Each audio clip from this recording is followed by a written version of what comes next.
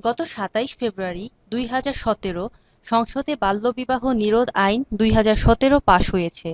এই আইনের উনিশ ধারায় বলা হয়েছে, এই আইনের অন্যান্য বিধানে যা কিছু থাকুক না কেন, কোনো বিশেষ প্রেক্ষাপটে অপ্রাপ্ত বয়স্কের সর্বোত্তম স্বার্থে আদালতের নির্দেশক্রমে এবং মাতাপিতার বা প্রযোজ্য ক্ষেত্রে অভিভাবকের সম্মতি বিধি দ্বারা নির্ধারিত প্রক্রিয়া অনুসরণ করে বিয়ে সম্পাদিত হলে তা এই আইনের অধীনে অপরাধ বলে গণ্য হবে না।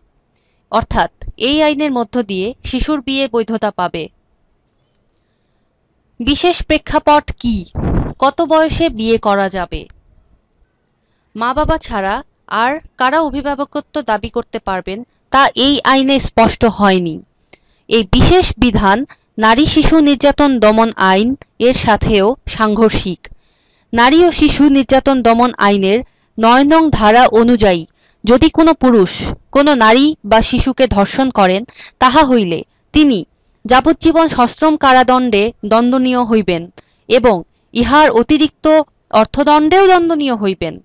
নয় নং ধারার ব্যাখ্যায় বলা হয়েছে, যদি কোনো পুরুষ বিবাহ বন্ধন ব্যতীত এক, ষোলো বছরের অধিক বয়সের কোনো নারীর সহিত তাহার সম্মতি ব্যতিরেকে বা ভীতি প্রদর্শন বা প্রতারণামূলকভাবে তাহার সম্মতি আদায় করিয়া অথবা দুই, ষোলো বছরের কম বয়সের কোনো নারী সহিত তাহার সম্মতি সহ বা সম্মতি ব্যতিরেকে যৌন সঙ্গম করেন, তাহা হইলে তিনি উক্ত নারীকে ধর্ষণ করিয়াছেন বলিয়া গণ্য হইবে।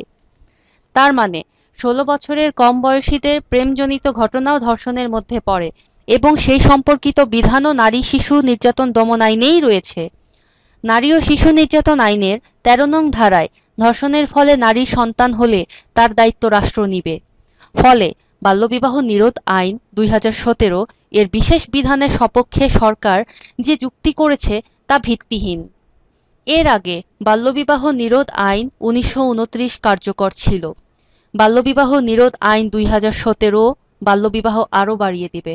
বাংলাদেশে পনেরো বছর বয়স হওয়ার আগেই শতকরা উনচল্লিশ শতাংশ মেয়ের এবং আঠারো বছরের মধ্যে চুয়াত্তর শতাংশ মেয়ের বিয়ে হয়ে যায়। বাল্যবিবাহের গড় হার ছেষট্টি শতাংশ। পনেরো বছরের কম বয়সী মেয়েদের বিয়ের এই হার বিশ্বের সর্বোচ্চ। এই বিবেচনায় বাল্যবিয়ের হারে শীর্ষে বাংলাদেশ।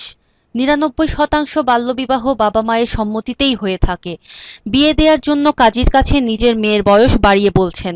এই আইনের ফলে যুগ যুগ ধরে এর কুপ্রভাব আমাদের সমাজে থাকবে। আইনের শর্ত হচ্ছে বাবা মার সম্মতি, তার মানে মেয়ের অমতে এবং জোরপূর্বকও তাকে বিয়ে দেয়া আইনসম্মত বলে গণ্য হবে। আবার বিয়ের এই বয়স জাতিসংঘ ঘোষিত আন্তর্জাতিক শিশু অধিকার সনদ, শিশু নীতি দুই হাজার এগারো ও শিশু আইন দুই হাজার তেরো এর সুস্পষ্ট লঙ্ঘন। আঠারো বছরের আগে সে ভোট দিতে পারবে না। তার নিজস্ব ব্যাংক অ্যাকাউন্ট থাকবে না। সম্পত্তির উত্তরাধিকার হতে পারবে না। সম্পত্তি হস্তান্তর করতে পারবে না। ফলে একজন অসহায় শিশুকে এই আইনের মাধ্যমে কোথায় ঠেলে দেয়া হবে? একজন নারীকে শিক্ষা, মানসিক বিকাশ, শারীরিক বিকাশের সময় ও সুযোগ দিতে হবে। তারপর আমরা তার কাছ থেকে পরবর্তী প্রজন্ম চাইতে পারি। বেগম রোকেয়া সেই একশত বছর আগে কন্যাদেরকে বাইশ বছরের আগে বিয়ে দিতে নিষেধ করেছিলেন। আওয়ামী ওলামা লীগ জাতীয় প্রেস ক্লাবে প্রোগ্রাম করেছে বাল্যবিবাহ খাস সুন্নত ব্যানারে। তেতুল হুজুর নামে খ্যাত আল্লামা শফি সাহেব তো আগেই বলেছে, মেয়েদের ক্লাস ফোরের বেশি পড়ার দরকার নাই, স্বামীর টাকা গুনতে শিখলেই যথেষ্ট। যে সংসদে বাল্যবিবাহ নিরোধ আইন দুই হাজার সতেরো পাশ হয়েছে, সে সংসদে প্রধানমন্ত্রী নারী, স্পিকার নারী, বিরোধী দলীয় নেত্রীও নারী, সে সংসদে তেতুল হুজুরদের জন্য এই আইন বিশেষ পুরস্কার বই আর কি? সাব্বাস নারী বান্ধব সরকার।